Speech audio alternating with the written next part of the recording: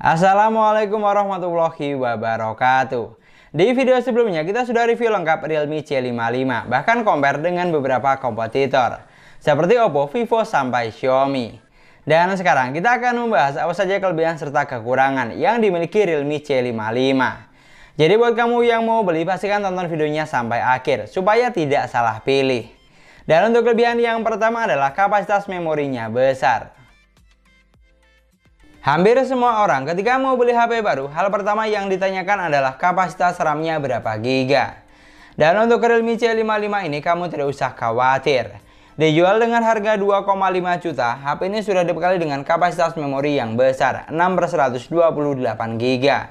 Di mana kebanyakan merek lain dengan harga setara hanya dibekali dengan kapasitas RAM 4 GB. Jadi sangat bisa diandalkan pastinya untuk penggunaan jangka panjang karena mampu menyimpan banyak file atau aplikasi. Tidak akan ada drama, baru dipakai beberapa bulan ruang penyimpanannya sudah penuh. Apalagi masih bisa ditambah dengan micro SD dan RAM virtual yang bikin memorinya jadi makin longgar. Lalu untuk kelebihan yang kedua adalah desainnya mewah depan maupun belakang. Seperti yang kamu lihat, untuk look atau tampilannya, HP ini memiliki desain yang mewah dan kekinian. Jadi kamu tidak usah khawatir, karena tidak terkesan jadul sama sekali. Mulai dari finishing warna, setup kamera, sampai bodinya yang tipis, hanya 7,9 mm. Dengan letak sensor sidik jari ada di bagian samping, jari satu dengan tombol power, dan port charger sudah menggunakan USB Type-C. Namun tidak cukup sampai di situ. Untuk bagian depan atau layar di sini juga terlihat mewah karena sudah menggunakan konsep punch display dengan bezel yang cukup tipis, jadi makin sedap untuk dipandang. Lalu untuk panel layarnya, HP ini menggunakan panel IPS LCD dengan resolusi Full HD+, refresh rate bisa sampai 90 Hz.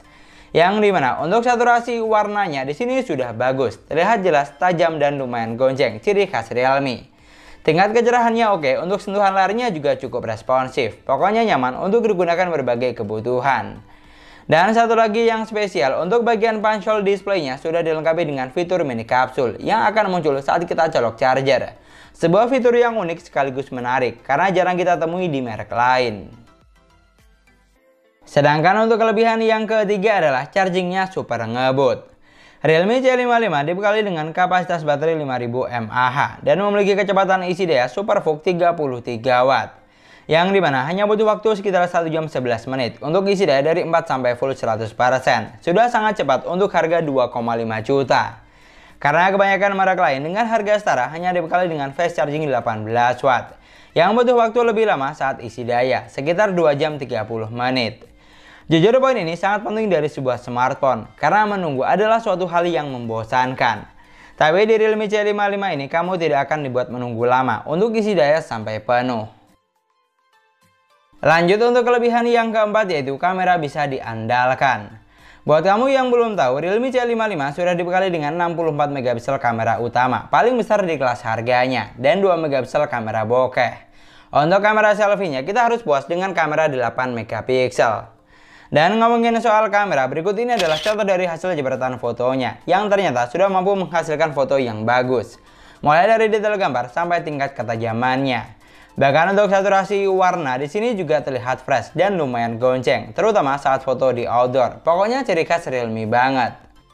Lalu untuk kamera selfie-nya, HP ini hanya dibekali dengan kamera 8 megapiksel, bukan yang paling besar di kelas harganya.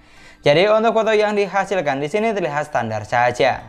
Untuk detail dan kecerahannya sih sudah oke, tapi untuk saturasi warnanya cenderung kuning, terutama di bagian warna kulit wajah. Agak kurang cocok buat kamu yang hobi selfie.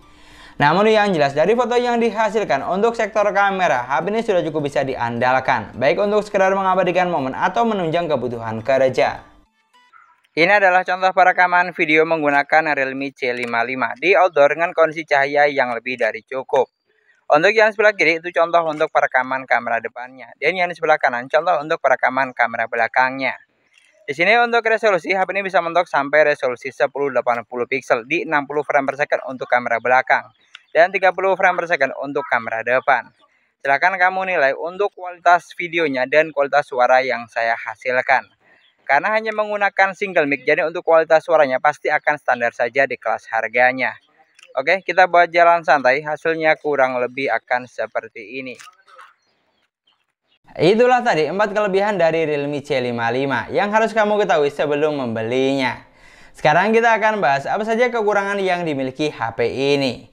Dan untuk kekurangan yang pertama adalah chipsetnya kurang gahar. Buat kamu yang belum tahu, Realme C55 ditenagai dengan chipset MediaTek Helio G88 octa-core 2,0 GHz, pabrikasi 12 nanometer yang mampu menghasilkan skor Geekbench 6 di angka 424 dan 1340 poin. Sedangkan untuk skor Antutunya hanya tembus di angka 250 ribuan, bukan yang paling tinggi di kelas harganya. Jadi buat kamu yang hobi main game berat, performa yang dihasilkan tergolong standar saja. Sedikit contoh di sini, saya coba buat main PUBG Mobile. Dan setting grafik yang terbuka ada di Smooth Ultra, Balas Ultra, dan bisa mentok sampai SD High. Di sini untuk gameplaynya, HP ini sudah mampu menjalankan game dengan baik, tapi bukan yang paling lancar di kelas harganya. Apalagi untuk sensor giroskop, di sini juga kurang responsif karena masih menggunakan virtual gyro, sehingga pengalaman saat gameplaynya kurang begitu memuaskan.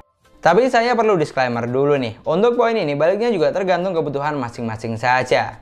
Karena yang jelas kalau hanya untuk penggunaan kasual atau santai, performa yang dihasilkan sudah lebih dari cukup, bisa diandalkan. Artinya, kalau kamu tidak hobi main game berat, seharusnya poin ini bukan sebuah masalah. Lalu untuk kekurangan yang kedua adalah jenis memorinya masih eMMC. Untuk kapasitas memorinya, jujur di sini saya no komplain, karena sudah besar untuk harga 2,5 juta. Tapi sayangnya jenis memori yang digunakan bukan UFS, melainkan masih eMMC. Alhasil, kecepatan baca tulisnya kurang cacat. Jadi jangan heran kalau terkadang butuh waktu yang sedikit lebih lama untuk proses perpindahan antar aplikasi. Dan itulah tadi 6 poin kelebihan serta kekurangan yang harus kamu tahu sebelum beli Realme C55. Dari semua yang ditawarkan, HP ini tuh sudah cukup paket lengkap di kelas harganya. Mulai dari segi desain terlihat mewah depan maupun belakang. Dari segi spesifikasi, kapasitas memori besar, performa lumayan, sudah punya sensor NFC, dan isi dayanya ngebut SuperVOOC 33 Watt.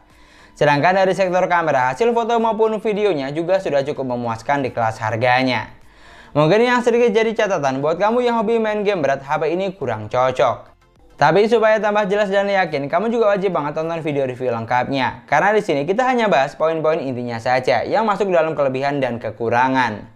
Jadi kalau misalnya kamu punya pendapat atau poin tambahan yang lain, kamu juga bisa banget tulis di kolom komentar. Supaya teman-teman yang lain biar pada tahu. Dan yang harus kamu ingat, tidak ada produk yang sempurna. Yang ada hanyalah produk yang cocok buat kamu. Jadi sebelum beli, pastikan sudah disesuaikan terlebih dahulu dengan kebutuhan kamu buat apa. Dan mungkin sekian dulu pembahasan kita kali ini. Terima kasih banyak buat yang sudah nonton videonya sampai akhir. Semoga videonya gampang dan mudah dipahami. Dan yang paling penting, semoga videonya bermanfaat. Jangan lupa like dan komen videonya. Kita ketemu lagi di video selanjutnya. Dan selamat menjalankan ibadah puasa. Wassalamualaikum warahmatullahi wabarakatuh.